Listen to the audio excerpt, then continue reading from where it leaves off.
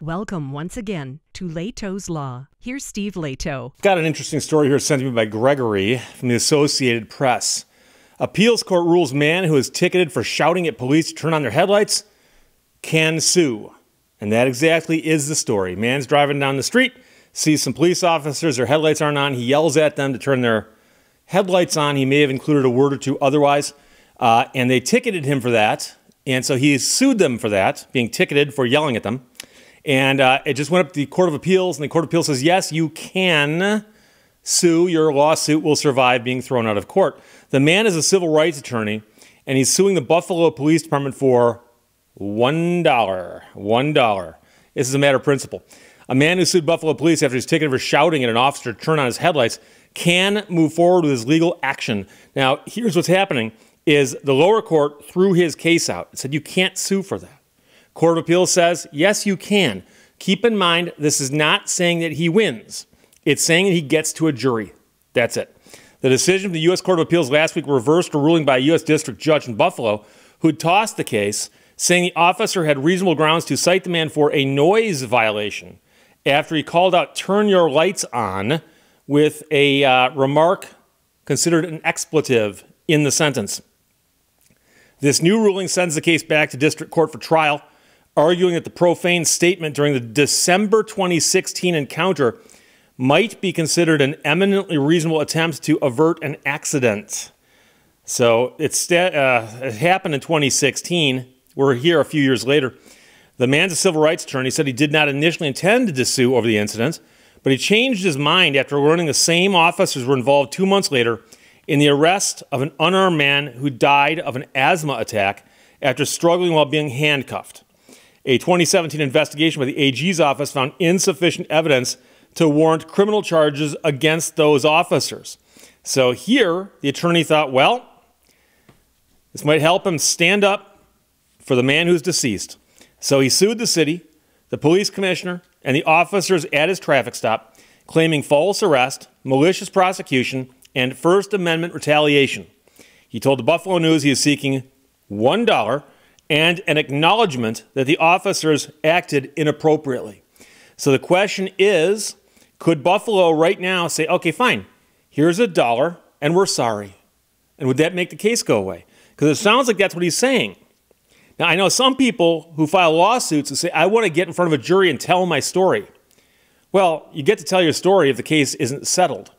But I'm always curious if somebody offers you what you're asking for and you don't take it, so I don't know if they've made that offer, by the way, because to them, obviously, a dollar is not a big deal.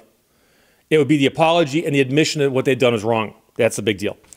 When I saw that it was the same two cops were involved in my incident, when they retaliated against me because I angered them, and uh, the other guy angered them by resisting arrest, I went forward the lawsuit that I never would have thought, he told the newspaper. A Buffalo police spokesperson did not immediately respond to a request for comment, and uh, the man's contact the officers started about 8.30 in the evening, December 1st, 2016, as he and his wife were leaving a downtown restaurant. He said he saw an approaching vehicle with its headlights off come close to hitting two pedestrians. Then he referred to the driver with a profanity while calling out, Turn your lights on. It was only after he pulled the vehicle over in response that this man here saw it was a police officer in the SUV, according to court filings. So at that point, the officer said to the attorney, You know, you can be arrested for that. The attorney responded that the officer should not be driving after dark without his headlights activated and told the officer he almost caused an accident. The officer then got out of his vehicle and told the attorney he was detained, according to the lawsuit. The situation escalated with the arrival of other officers uh, who refused the attorney's request to issue the officer a traffic ticket for driving without headlights. Instead, the attorney was cited for violating the city's noise prohibition. That citation was later dismissed. The attorney said a letter he wrote the police commissioner the day after the encounter went unanswered. I wrote that letter because I thought these guys needed more training. They needlessly provoked an incident. They were in the wrong. They confronted me. They used the power of their badge to cite me. Now, lawyers of the city in court documents say that the lawyer's legal claims are unsupported, and a U.S. district judge had agreed with that back in March of 21, ruling that the officer had probable cause to ticket the attorney for his shouted comment. And of course, that's the ruling that just got overturned on appeal. Given both the volume and nature of what he yelled in the presence of bystanders, a reasonable person of normal sensitivities could be annoyed and have their quiet, comfort, and repose disturbed. But the U.S. Court of Appeals disagreed in their ruling and said a jury might might view the shout as unreasonable noise if all five words were expletives, but a rational juror could could view his actual words as an attempt to avert a possible accident. And so here's the thing. The court is saying for someone to yell, okay? Depends on what they yell and how loud they yell it and where they yell it and all these different things that play into that, okay? And so the court that threw it out said, well, obviously they've got the right to give you a citation for that. Obviously. Therefore, you can't sue. And the Court of Appeals saying a jury is who decides that. And if there is a question of fact, a jury gets to decide it. And the question of fact is this He yelled out, Turn your headlights on with one expletive added. And the question is is what he yelled something he's allowed to yell despite the fact he's got that one word there or not? And so, a jury, if this case doesn't settle and goes to trial, a jury will be asked if this man yells this out, turn your lights on, and there's a bad word at one end or the other of that sentence, so I'm assuming where it went. Some swear words can go almost anywhere in a sentence, right? But um, they're very, very flexible parts of speech. Uh, but here I'm, I'm guessing is either the beginning or the end, right? And so that's what's going to be decided by a jury. And if a jury finds that a police officer could rightfully see that as something that's disturbing the peace, then he, he could lose this. And if a jury comes back and goes, no, that's not disturbing the peace, cops shouldn't have written that ticket. The ticket was clearly written to retaliate against him for telling them to turn their lights on and using that word. Because some people don't like it when you yell at them, but they like it even less when you yell at them and call them a name. And so that's what this is about. So it's an interesting case. Um, I'm most curious to see if it could settle. Because, like I said, I've had many cases in my career where my clients come to my office and go, Here is exactly what I want. And they tell me. And so sometimes negotiate, sometimes file a lawsuit, and somewhere down the road, the other side comes to me and goes, What does your client want? And sometimes I'll, I'll say, Well, I'll throw a number at them and we'll try to negotiate. I don't ever come out and go, Gee, my client wants $100. We want $100. Um, no, my client wants $1,000. You crazy? Might take 500 Depends on the case and how well I know the defense attorney. And um, and you might say, Steve, why does it matter how well you know the defense attorney? Because I know their bargaining style.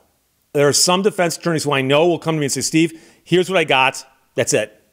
And they're telling the truth. I know other attorneys who come to me and say, Steve, that's all I got. And I'm like, yeah, right. We've been through this before. Don't, don't try again, okay? So if someone came to my office and said, Steve, all I want is an apology and a dollar, I'd say, okay. Um, what kind of an apology? I'm assuming they can't just call on the phone and go, hey, I'm sorry. You probably want them to make a public apology, like a press release. And I suspect there'll be more negotiation on that apology than anything else. I'm now going to tell you a story that just popped into my head. I don't think I ever told on this channel before. And I haven't thought about this case in years.